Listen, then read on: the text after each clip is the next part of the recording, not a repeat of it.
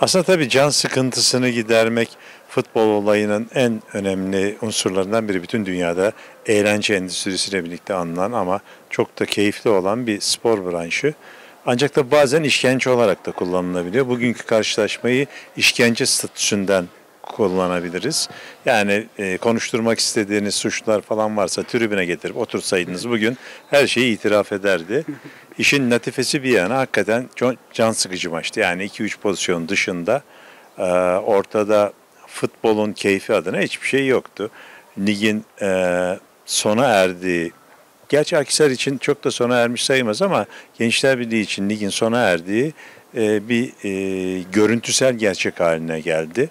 E, bu gerçekten yola çıkarak da bugün maçın sahadaki futbol gibi sonucunda 0-0 olması çok normal. İki tane kırmızı kartın niye olduğunu anlamak çok güç. O da yapanlara sorulması gereken garipliklerden e, sorumlu olan bu iki arkadaşa e, sorulmalı. Onun dışında futbol adına çok doyduğumuzu, çok keyif aldığımızı, burada olmaktan dolayı çok mutlu olduğumuzu söylemek de mümkün değil.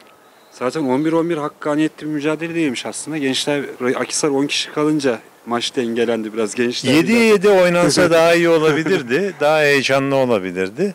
Yani 10 10'a 10, 10 şey 10'a 9 bitti zaten.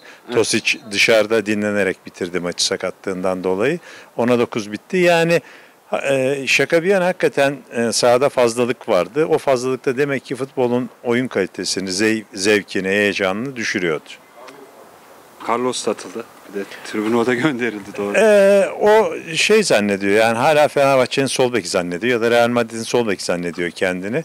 Öyle olmadığını zaman zaman ufak hatırlatmalar halinde şey yapıyorlar ona sunuyorlar ama herhalde onu anlamakta da zorluk çekiyor. Yani saha kenarında şeyini tekmelemek futbolcuyken bir derece e, göz yumulabilir ve kafa çevrilebilir bir şey olabilir ama teknik direktörsen bunu herkes görür ve atılırsın. Biraz önce ama çok nazik bir hareket yaptı. Basın toplantısında gazetecilerden o davranışından dolayı özür diledi. Ha, yani tabii Carlos'un tabii e, oyunculuk kariyeri e, klasını falan tartışmıyoruz. İşin şakası bir yana ya da işin e, teknik direktör değerlendirmesi diyeyim. Pek şaka değil o ama teknik direktör değerlendirmesi bir yana ama e, yani futbolculuk kalitesi, kar, e, kariyeri falan hakikaten tartışılacak gibi değil Carlos. Yani hiç öyle bunu e, tartışmakta hakikaten bizim de pek haddimiz değil. Çünkü geldiği noktaları itibariyle çok üst düzeyde bir oyuncuydu. Ama teknik direktör sen bir şeyler örnek olacaksın ve bir şeyleri doğru yapacaksın.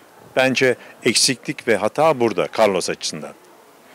Şimdi Gençler Birliği ligde kalma e, sıkıntısı yok ama e, şampiyonluk mücadelesinde çok önemli maçları var artık. Biz e, şampiyonu belirleme evet, adına çok şamp- önemli evet. maçlara çıkacak. e, gençlerle oynamasını bekliyoruz ama bir taraftan da böyle de bir zorlu periyot var ve ligin kaderini belli edecek. Tabii işte Tosic'i belki de onun için hani transferi de var. İşte Trabzon'la anlaştığı söyleniyor. Başka kulüplerle de görüştüğü iddia ediliyor. Bu nedenle belki son dakikaya kadar belirledi ama şey bekletti ama Tosic de ya iyi ısınmadı ya işte hani e, bahtsız bedevi türü e, son dakikada böyle garip bir şey oldu. E, aslında Gençler Birliği takımının ligi olan sorumluluğu var. Yani e, sadece şampiyonluk mücadelesi. Bugünkü maç itibariyle baktığınız zaman da küme düşme hattındaki takımlarla da mücadele ediyor. Lige ve diğer takımlar olan saygının gereği e, tüm maçlara aynı ciddiyette çıkması ve bu maçlardaki e, performansını elinden gelince en, ge- gele- gelen en üst seviyede tutması gerekiyor. Bence e, Gençler Birliği'nin öyle bir sorumluluğu var. Şimdi çok enteresan bir şey yapıyor Mesut Bakkal. Sen soyunma odasına oraya gelmediğin için fark etmiyorsundur abi.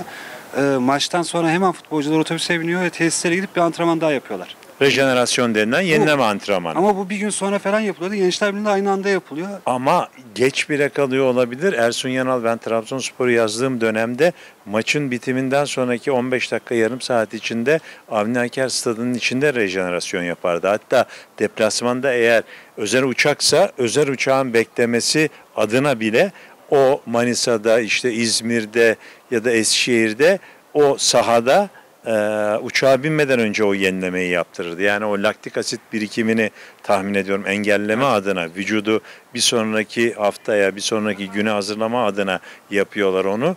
E, dolayısıyla e, bunu e, çok yadırgamamak lazım. Aslında e, doğru olan Mesut Hoca'nın tesislere bile götürmeden 19 Mayıs stadında bir yenileme yapması e, olabilir yani. Onu tabii biraz da Ersun Yanal'a sormak lazım. Biz alışmadığımız Hocaya. için maçtan sonra direkt Tabii. futbolcularla rahat rahat röportaj yapma alışkanlığımız vardı. Şimdi direkt tesise kaçıyorlar. Böyle Aslında onu tabii e, nezaket kuralları gereği en azından oyuncuların röportajını mümkün kılıp ondan sonra üstlerini değiştirip e, şey yapmalarını sağlamak lazım. E, rejenerasyona gö- götürmek lazım. Böyle kaçırır gibi götürdüğün zaman e, birçok şeyi de kaçırırsın. Gerçi biz de futbolculara ne soracağımızı, kime ne soracağımızı bilmiyoruz. O kadar kötü maçlar. İşte sorulacak bir şey de yoktu aslında. Niye böyle saçmaladınız gibi bir soru sorulabilirdi. O da çok yakışık almayabilirdi. Dolayısıyla e, bence futbolcuların otobüse binip gitmesi sizin açınızdan da iyi olmuş. Evet. Görüşelim abi. Görüşürüz. Özetle okuyucular yazılarını bekliyorlar. İnşallah. İletiyorum. İnşallah, inşallah. İlk, ilk fırsatta.